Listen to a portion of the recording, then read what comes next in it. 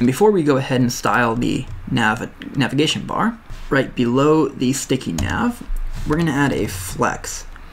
And this will hold the code for the rest of our page. So all we need to do here is say children. So anything that we add in our index.js, so anything inside of here, will go inside of this flex. So we're going to style this too. I'm just going to paste in some styles. So this will be the HTML element will be main. We're going to justify the content to the center. The flex direction will be column. And then the background color will be the color mode of this variable, which if we go up here, if it's light, it is a white, and if it's dark, it is a dark gray. And then we have some padding in margin. Now we can't, it can't find variable color, and this is referring to the text color, so let's go ahead and add that. We'll say const color, and we want to say, if it's light, make it black, and if it's dark, make it white. So that is just the default text color. So if I just add some text here, and make sure that we actually import that uh, React, there we go. As you can see, it's coming through as black, but if we change the color mode, it changes to white, and the background changes as well. But as you notice, the rest of it does not change. So we need to fix that in uh, app.js. Remember I noted that earlier. We're going to go back and fix that in just one second. First, I want to finish the rest of the container. And the only thing left we have in here is the styles on the sticky navbar. So again, I'm going to paste in some styles just to save some time, but you can go ahead and play around with these uh, and see what they do. But all we're doing here is centering the navbar, adding space between the items and the dark mode switch, and then adding some padding and margin. So pretty basic stuff. And we also gave background color to it. So now that changes too. So you'll notice we are on the dark mode right now, and it's only changing for the parts of the screen that we defined. So the nav bar and uh, this strip here. So if we go ahead and inspect element and we take a look at the body, notice how this right here, underscore underscore next, covers the entire page. So we want to add styles to that next to one, take up the entire height of the page, and then two, we want to change the color of that based on our color mode. So we can do that easily if we open up app.js. So we can use what's called global. Let me go ahead and import this. And then how we use that is before we return this my app, we're going to say return. And in here is where we will add this global styling. So we can say styles equals, and then in here, we'll say CSS, and then the back ticks again, just like that. And then inside of here, we can add CSS. So I'm going to paste in some styles, just like I've been doing. So all this is doing, like I said, we are accessing the next ID on the DOM, and then we are adding these styles to it. So we're adding display flex, we're adding the flex direction column, we're adding a min height of 100 view height, so that makes the height of, um, of the page the entire height of the screen.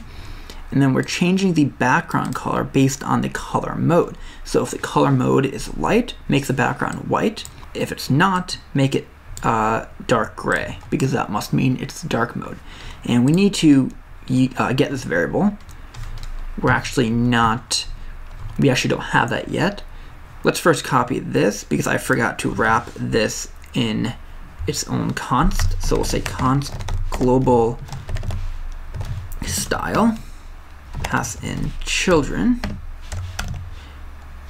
some arrow notation, and then paste in the return statement.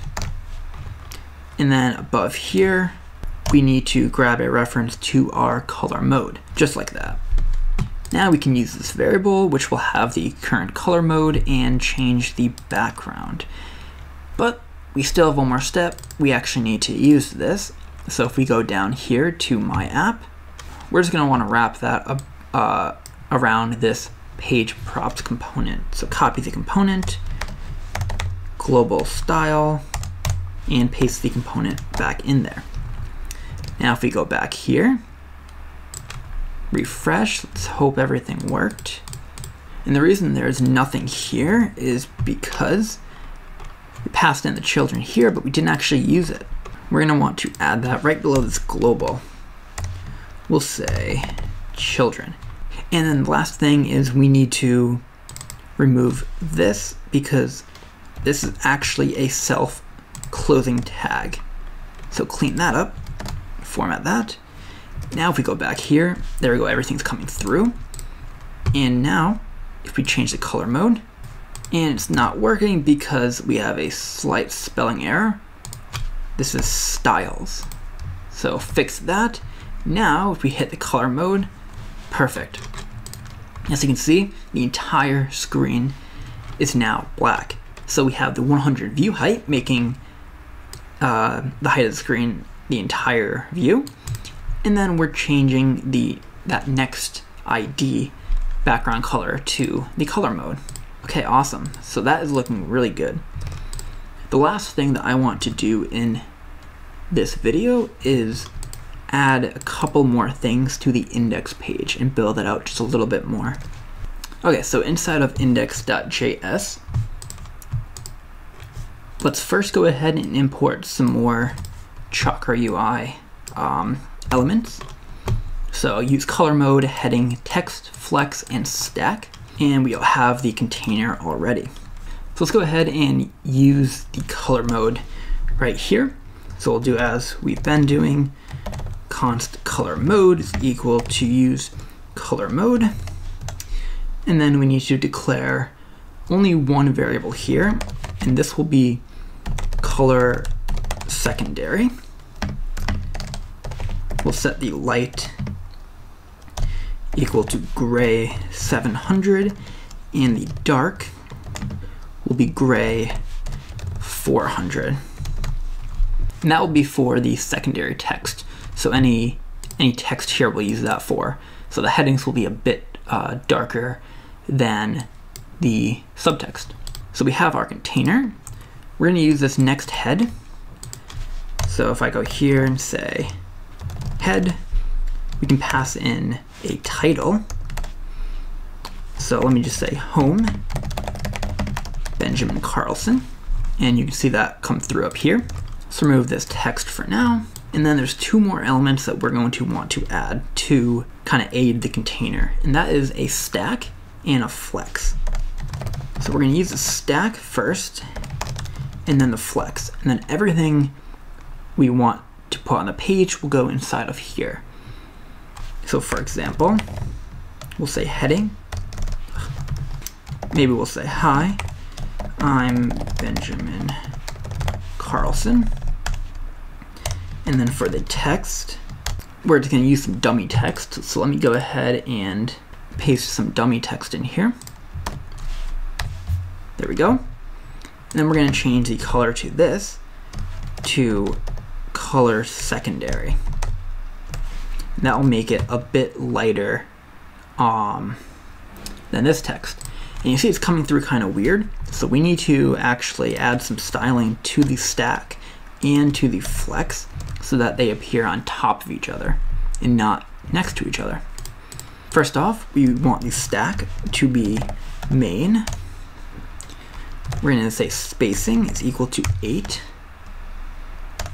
We're going to say justify content uh, we'll make that center. We'll align the items. We'll say flex start. Our margin will be zero auto for rem and auto. and that's top, right, bottom, left. Our max width, this is important, will be 700 pixels. And our padding X, which is the padding to the left and the right, uh, will be 2.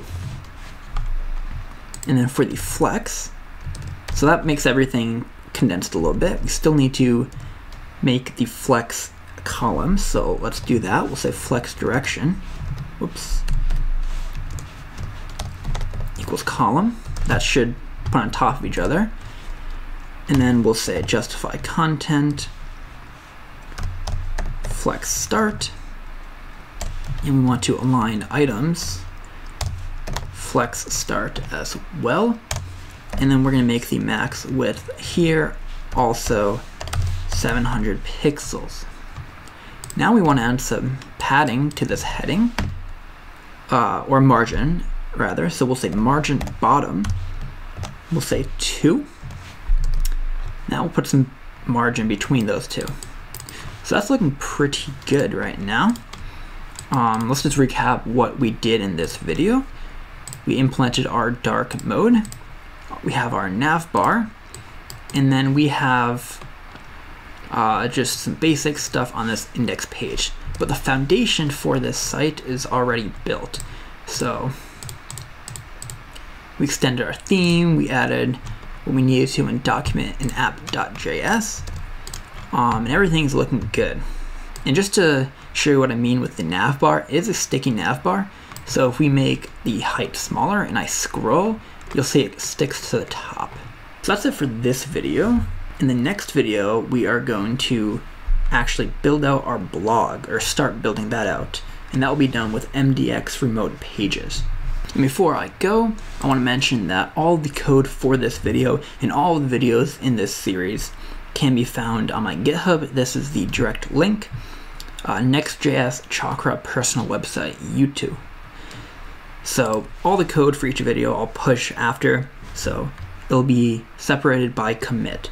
So if you watch the first video, this one, and you want to see the code for only this video, you can check out that commit. In future videos, if you want to look uh, at the code for those videos only or go back a little bit, that you can do that by looking at uh, the commits you want to look at. So that's it for this video, guys. I hope you enjoyed. If you did, be sure to like and subscribe, and I'll see you in the next one.